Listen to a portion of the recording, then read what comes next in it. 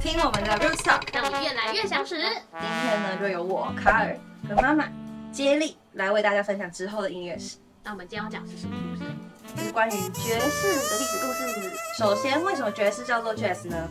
其实说法超级多，甚至连美国人都不知道是从哪里来的。然后美国的方言协会啊，他还把这个单字列入到二十世纪的那个字典里面。那我们今天呢，就先来分享一下有几个小说法。第一个呢，就是来自非洲的俚语，它念 J I S M，应该是念 Jism，哦，它就是有力量、有能量的意思。那说法二呢，是比较多人会讲到的的部分。Jason 这个单字，它是通奸、促娼的意思。跟音乐有什么关系？就是跟音乐完全没有关系，因为这个曲风它是在美国的纽奥良红灯区那边的酒吧妓院慢慢兴盛起来的。哦而且那时候因为纽奥良它是受法国统治，然后法国啊，它将香水引进了纽奥良这个地方，然后那个时候最流行的味道就是茉莉香，那个时候的妓女。就是很喜欢喷这个香水，因为它是最流行的味道。对，有人就说香水就是 jazz 的来源，对，就是 jasmine 变成 jazz 这样。对，那说法三，也有部分是是因为刚才有说到，就是纽奥良是由法国统治的嘛，然后法语有一个 Jasper，英文是念 Jasper 啊，但我不知道法文是念什么，它就是有闲聊的意思，没有设限的聊天内容，就跟爵士乐的即兴很像。对啊，说法很多啦，但是因为到现在为止都其实已经都不可考了，就只能当做一些有趣的小故事分享给大家听。一九一四年的时候，芝加哥有一个乐队叫做老迪克西兰爵士乐队。然后他在《时代》的花絮报之中出现，然后在三年后，一九一七年，胜利公司他就为了这个乐队录制了唱片，然后就正正式的使用爵士乐这个名称。爵士乐它是起源于十九世纪的美国南方，也就是美国的路易斯安那州。然后我们刚才就提到那个牛奥良，嗯，对，那个对，牛奥良不是只有鸡翅而已，还有爵士乐。一六八二年的时候，他就命名了这个地方，然后统治者是路易十四。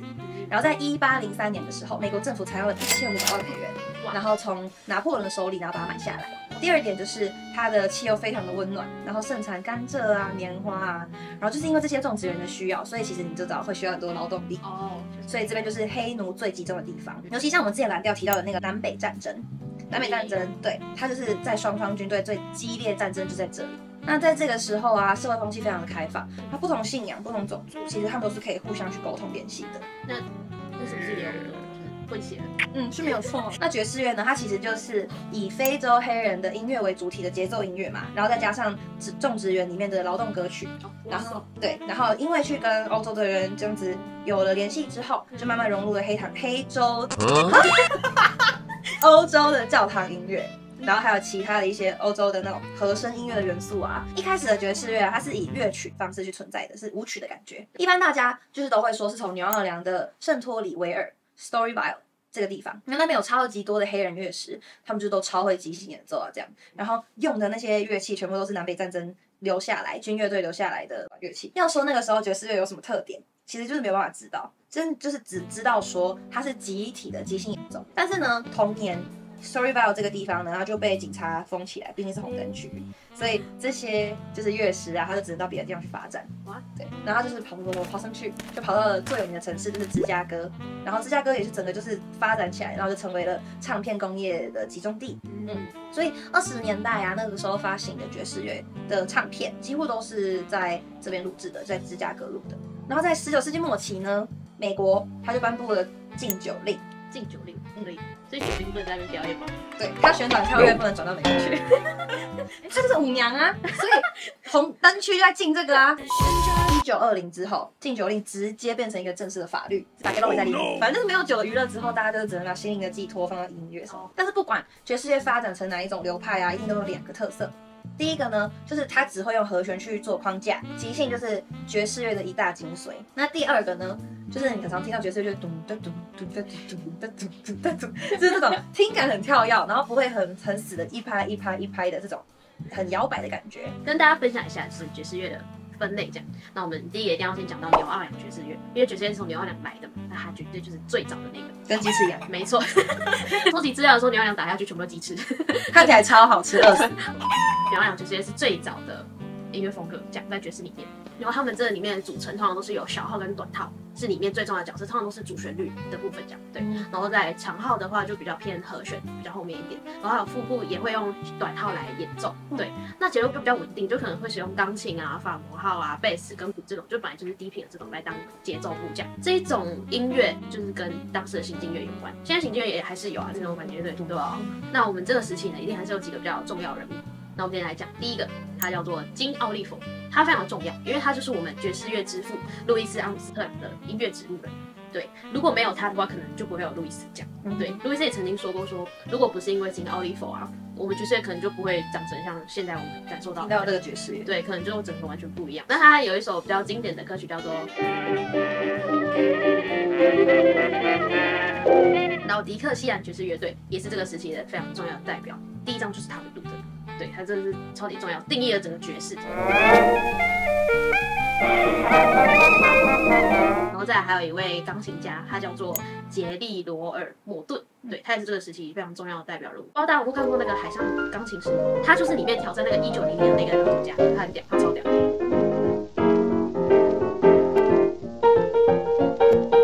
那我们芝加哥的爵士呢，它跟牛羊比较不一样的是，它加入了萨克斯风这个乐器，对，还有个人即兴的部分。因为原本牛羊爵士乐它里面大部分都是那种集体的一些即兴，对。那我们芝加哥爵士乐开始才有个人的即兴的 part 这样，对。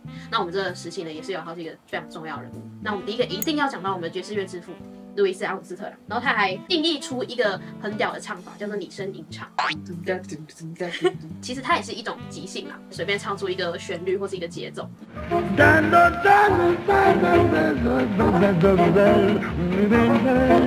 那这首歌呢，就是被视为第一首使用女声吟唱的歌。对，那其实，在前面就有很多歌手就有使用这种唱法，但是是他定义出这个词，嗯对，所以这首就会当做是第一首女声吟唱的歌这样。那再来，我们还有第二位代表的人叫做西德尼贝彻，他的高音的萨克斯风堪称无人能比，真的吹起来超屌。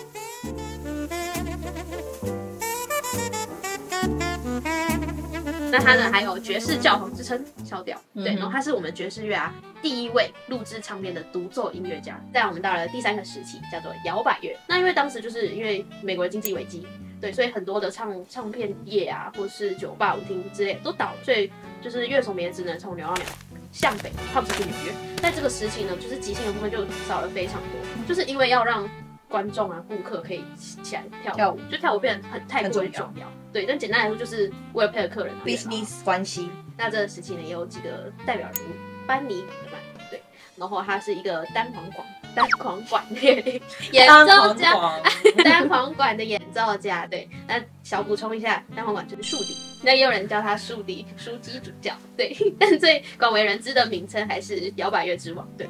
那他呢，就是融合了古典乐跟爵士乐的特点，一起跳舞表演，一起跳舞表演。嗯，那再来，我们第二位叫做艾灵顿公爵。那那个时候，艾灵顿公爵他有组一个乐团，名字就叫做艾灵顿公爵管弦乐队。大家都很懒得取名字。那他就是这个乐团的指挥，这样。他也为了这个乐团写了非常多的作品。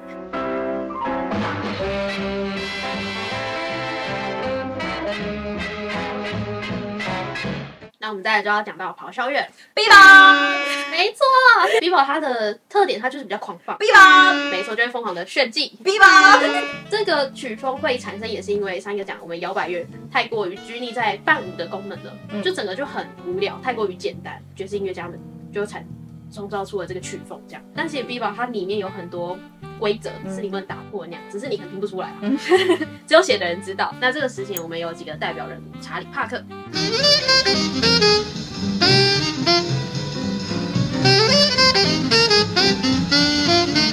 还有一位代表人物叫做塞隆尼斯孟克，很屌的地方是他是我们历史上爵士乐作曲数排名第二的，对那第一是谁？第一名的嗯就是我们刚才前面有讲到的艾灵顿公爵，他的作曲里面非常的不和谐，你知道吗？就是你完全不知道他在干嘛，嗯。就嗯听起来就整个哦疯狂打架，嗯。冲击感超级重，不是大家都可以接受的风格啦。对，嗯然后我们有一个诗人兼爵士乐评家，他叫做菲利普莱金，嗯。嗯，就叫他琴键上的大象，嗯这样就是说他，然后他还会在演奏的时候就突然站起来跳个舞，嗯，跳完之后再做一句剧台琴，超快他的，就是好像就一个怪人，你知道吗？嗯。他的钢琴啊几乎是无师自通的。那结果就是他姐姐小时候在上课的时候旁边偷听，嗯。就是他的曲风就会跟别人就是超级不一样，嗯。会对他有记忆性，就哦可能记得他是一个怪人，这样也没有不好，他可以完全的表达出自己的想法。这样，那接下来大家听完这个 Bebop 这个乐风之后，应该可以听得出来，这到底有多么的让大家没有办法接受。所以呢，这个时候救世主 Cool Jazz 就诞生了。Cool Jazz 它比较平柔啊，比较滑顺一点点，然后听起来就是它几个特点，就是会比较典雅，比较温馨，睡不着，然后听起来会放松，就是因为 Cool Jazz 它这个特点，它就很常被用在主题曲啊，或者是有代表性的配乐上面。最有象征性的代表就是 Snoopy 的 Linus and Lucy。还有现在市面上啊有很多就是会被爵士化的歌曲，这些爵士化的歌曲你也几乎都可以把它定义成 Cool Jazz，因为几乎是只有 Cool Jazz 这个乐派啊是可以被听出哦原曲应该是是什么样子的。那这个 Cool Jazz 它的代表乐手呢，就是是一个钢琴手叫做 Bill Evans，然后还有一个小喇叭手叫做 Miles Davis，然后他们合作推出了一首一个专辑叫做 Kind of Blue，然后呢，他们两个就是因为这张专辑的关系。Bill Evans，他就在那个时候的爵士乐界被视为一个才华超级出众的新星。那他的第一张商业专辑《New Jazz Conceptions》呢，就也很相当明确的，就是为 Cool Jazz 这个去定位这样子。嗯，另外一个乐派，嗯它叫做 Hard Bop。然后，如果你说 Cool Jazz 它是美国白人在西岸比较轻松的生活方式的话，Hard Bop 他就是比较想要去重新捕捉出黑人那些非洲音乐里面比较热情的那些音乐元素，然后在东部的底特律发展。然后他就是因为会比较热情啊，然后比较有起伏，所以他其实比较多抖音啊、滑音啊，或者是一些战音的一些浓烈的情绪表现。然后他的节奏组啊，嗯也通常是以那种会让你听起来很摇摆，就那种驱动性的的那种摇摆感去去前进这样子。到了莫达尔爵士，他叫 Modal Jazz，它是一九五零年代发展出来的一个爵士乐。它在之前古典乐的时候啊，在巴哈的音乐里面就已经出现，哦，只是那个时候叫做希腊教会调式。哦，那在巴哈以后啊，就是音乐其实都会以调性发展为主，就是我们听到的 C 大调啊、B 小调啊、E 小调这种就都都叫做调性发展。因为它就是会将八个音符还是随意组合成为一个模式化，对，然后它就会乐手就会利用这些音阶内的模式化的音符，然后去展再再去进行即兴，然后或者是把音符配合成和弦再去进行表演。所以这个 Model Jazz 啊，它对于之后摇滚乐的形成嗯，也有很大的影响。接下来就出现了一个叫做 Free Jazz，它整个就 No Limit，和弦不用，旋律不用，要不要沟通不用，它也被称作叫做。Avant-garde，它就是想要解放爵士乐，它甚至衍生了一个叫做集体即兴。然后在没有和弦的结构限制下，那要怎么进行？可能是我去配合你，或者是我去对抗你。哦，对，它就会变成这样子的一个模式。卷的感觉，没错没错，哦对，就是 J 这个 Coleman，而且反正 Coleman 呢，他在做 Free Jazz 这张专辑的时候，他就找了另外七位乐手，然后他们就组了两个四重奏，哦，然后他们就是开开 jam 吗？开 jam 开录，结果你知道起来直接 jam 起来，那一首歌三十八分钟，比一个 podcast 还长。他就是为了要跳出这个音音色的射线啊，他也会常常会以传统的乐器来去做配衬。哦，最后了，兄弟们，我们来到了 Jazz Fusion。你有吃过 fusion 菜吗？就是可能会把台式跟西式然后融合在一起变成一道菜。它就是以爵士乐为基底之后呢，融入了像是 funk 啊，或是拉丁然后是摇滚。然后就是把它融合在一起。那现在就是它会加入了一些电子乐器、电子声音，然后让它更具现代的感觉。就是因为 B-box 的关系，它整个改变就是很僵化嘛，整个结构很死，就变成说 OK，摇滚乐就直接开始兴起，啊变成时下最流行的乐种。然后就快挂了，对，Jazz 就死了、啊，就没有他的听众啊。哎那就是那个时候啊，我们刚好提到一个 Miles Davis，他就是发现说摇滚乐开始流行了。嗯那为什么摇滚乐的乐手他们好像其实根本就没有很懂音乐，可是他们的歌却比较多人听，就是因为他们创造的东西让平凡人比较听得懂。那不然我就把摇滚跟爵士合在一起看看，然后这个 Jazz Fusion 啊，它对现代的流行乐也有非常非常大的影响。好啦，我们介绍了九个爵士乐的流派，真的超级多，对，但其实还有更多，还有很多就是真的讲不完。很小很小的一些分支。下一集的话，应该就会跟大家开始聊聊摇滚乐，就会离现代再更接近一些些，大家应该更熟悉。没错没错。